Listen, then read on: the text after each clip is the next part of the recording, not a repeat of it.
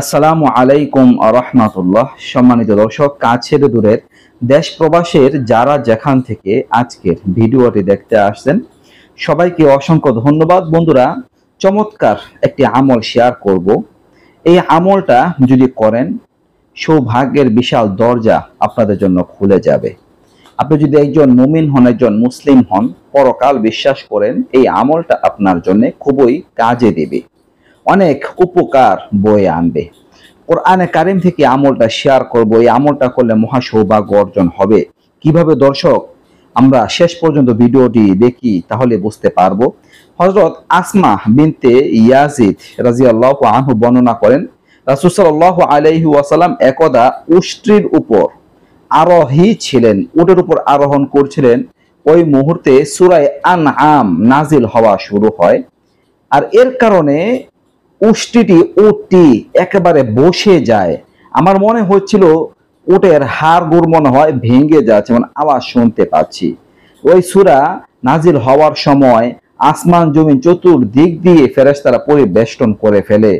নাজিল হওয়ার পরে রাসূল আলাইহি সাল্লাম সূরা আনআম এটি পাঠ করতে থাকেন আর বলতে থাকেন, এই সূরা নাজিল হওয়ার সময় সত্তর হাজার ফেরেশতা সাথে এসেছে। আর ফেরেস্তাদের তাজবি ছিল তখন, সুবহানাল্লাহি আল্লাহামদিহি সুবহান আদিম ফেরেস্তাদের এই তাসবিহের গুঞ্জনে আকাশ বাতাস মুখরিত হয়ে যাচ্ছিল। এটা হচ্ছে সুরায় আনহাম কোরআনে কারিমের ছয় নাম্বার সূরা, যার আয়াত সংখ্যা 100 পঁয়ষট্টিটি। দর্শক, এই সুরার প্রথম তিনটা আয়াতের দ্বারা আপনাদের আমলটা করতে হবে। এই আমলটা করলে কি লাভ করতে পারবেন? হজরত আব্দুল্লাহ ইবনে মাসউদ রাদিয়াল্লাহু আনহু বর্ণনা করেছেন, রাসূলুল্লাহ সাল্লাল্লাহু আলাইহি সাল্লাম বলেন, ফজরের নামাজের পরে স্থান, জায়গা ত্যাগ না করে ওই জায়গাতে বসেই কোনো ব্যক্তি যদি সূরা আনআমের প্রথম তিনটা আয়াত পাঠ করে, তাহলে আল্লাহ তাআলা তার জন্য সত্তর জন ফেরেশতা নিযুক্ত করে দিবেন। যে সমস্ত ফেরেশতারা তার হয়ে তাসবিহ পাঠ করবে এবং কিয়ামত পর্যন্ত তার মাগফিরাত কামনা করতে থাকবে। সুবহানাল্লাহ। কিয়ামত পর্যন্ত তার হয়ে তাসবিহ পাঠ করতে থাকবে। এই সবগুলো ওই আমলকারী ব্যক্তি পাবে। ফেরেশতারা তাসবিহ পাঠ করবে, সব আমলকারী ব্যক্তি পাবে। আর সাথে সাথে তার জন্য কিয়ামত পর্যন্ত মাগফিরাত কামনা করতে থাকবে। সুবহানাল্লাহ। সূরা আনআমের প্রথম তিনটা আপনাদের পড়ে শোনাচ্ছি। বিসমিল্লাহির রহমানির রহিম। আরদা وجعل الظلمات والنور.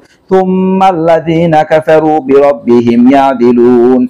هو الذي خلقكم من طين ثم قضى أجلا. وأجل مسمى عنده ثم أنتم تمترون وهو الله في السماوات وفي الأرض يعلم سركم وجهركم ويعلم ما تكسبون এ হচ্ছে তিনটা আয়াত তিনটা আয়াত ফজরের নামাজের পরে স্থান ত্যাগ না করে ওই জায়গায় বসে পাঠ করতে হবে করলে এই ফজরতগুলো লাভ করতে পারবেন তো আল্লাহ তালা আমাদের সবাইকে আমলটি প্রতিনিয়ত সবসময় করা তৌফিক দান আমি এই ছিল আলোচনা নতুন আরো ভিডিও সবাই পাশে থাকবেন এ পর্যন্ত আসসালামু আলাইকুম রহমতুল্লাহ